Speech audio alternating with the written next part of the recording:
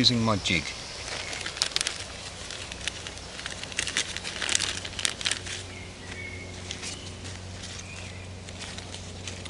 Got a whole range of sandpapers and wet and dry. Um, with this particular knife I am just going to give it an extra little bit of edge.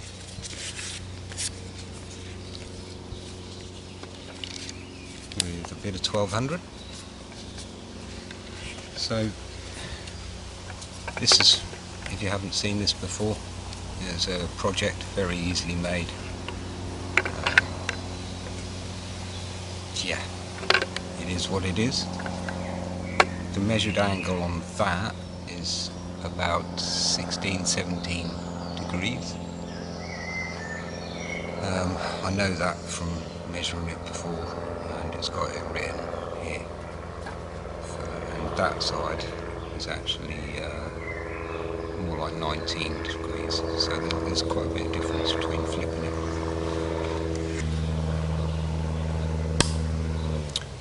As an extra feature I added to my jig um, was these two little magnets.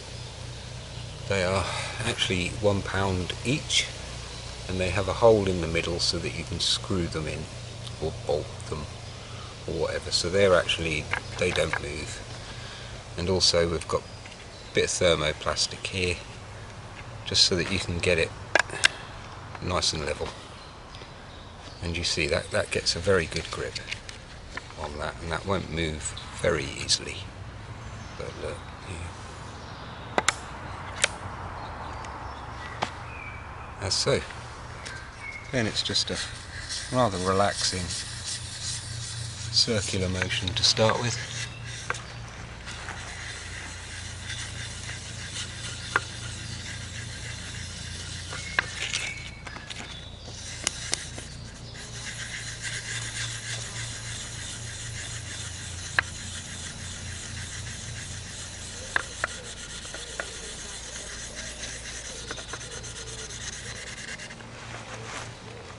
So that's all it needs. Both sides with 1200. Because this does keep an edge quite well.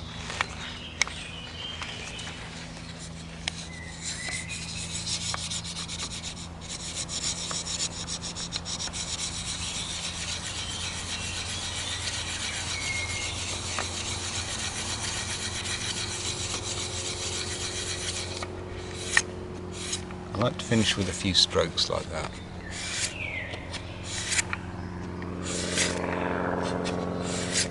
Along the blade towards the front.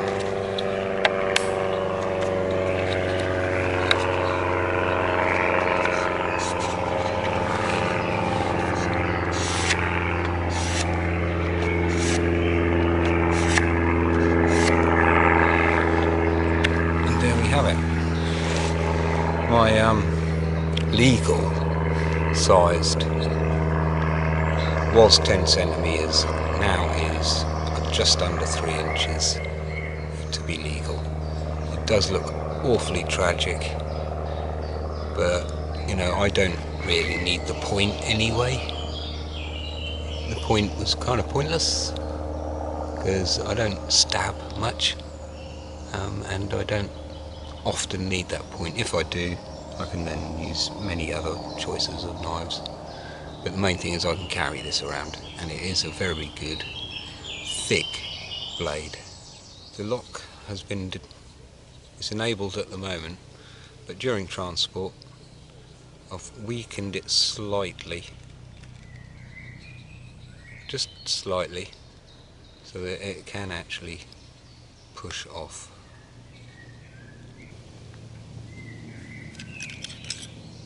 Um, and there you go. So now that's the lock blade removed. So now it is legal. There's no locking device. Um, I've blunted the end off. It's not particularly sharp. It's in size. And it's a good knife. But without that lock, I find it's very dangerous. Because, you know, that is the worst, isn't it?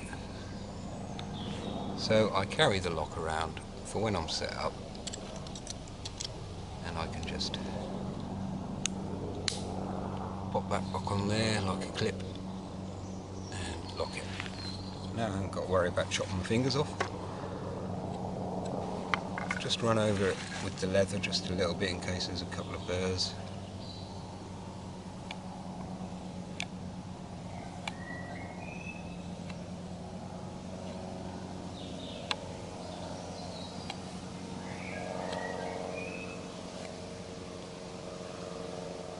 Getting lighter as we go. So towards the end you're applying hardly any pressure. You're just running it along the grain of that leather.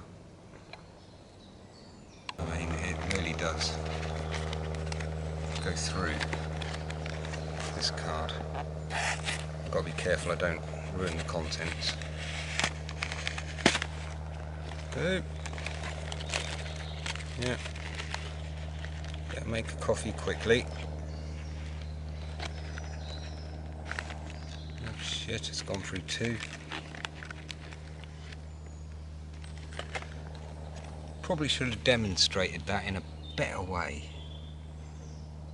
Um, it was sharper than I actually thought. And yeah, it just goes through it like, like silk.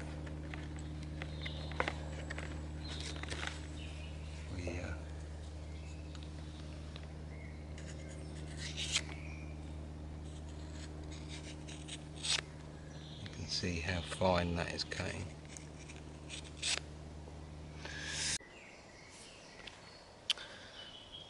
I actually can't believe how um, sharp that knife is actually.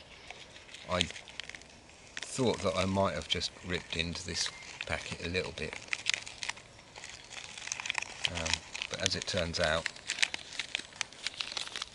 it went straight through that one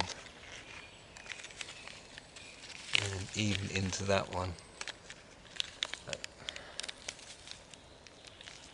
And starting a little bit on the back. So I just sliced through the cardboard. A whole packet and a gap in between a little gap. Uh, made a hell of a mess. But uh, damn that's sharp when something's this sharp I've got to remind myself that I've got to be a bit cautious with it. Because that well that, like that went through it like silk. Literally like a knife through butter. I applied no pressure or anything. Just ran it down. And it destroyed my coffee.